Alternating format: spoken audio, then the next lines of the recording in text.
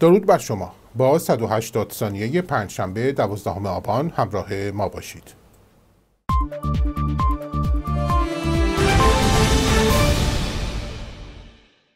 جمعیت بیشماری از مردم امروز پنجشنبه دوازدهم آبان ماه با فریاد مرگ بر دیکتاتور با پای پیاده راهی مراسم چهلم حدیث نجفی در بهشت سکینه کرج شدند.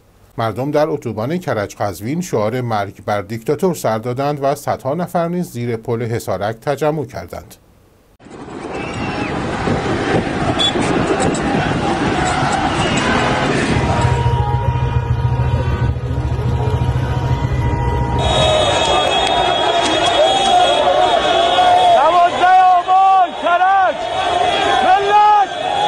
بنا سپاه و آتیش زدن مردم.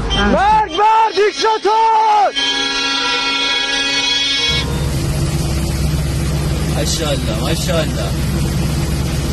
آتیش زدن کانکس پلیس. کرج. 11 آبان چهلم حدیث نجفی حسارک موش بیناموس حرومزاده. اوه اوه سرتو بیا پایین.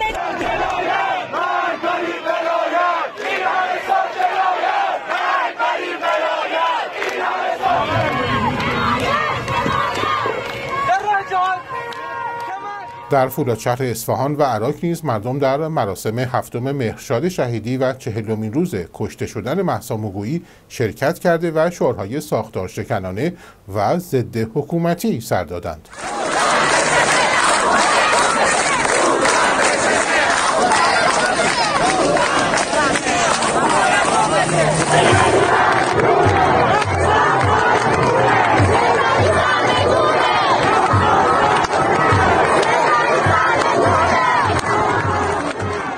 همزمان امروز پنجشنبه اعتراضات دانشجویی و دانش آموزی در سراسر ایران تداوم داشت.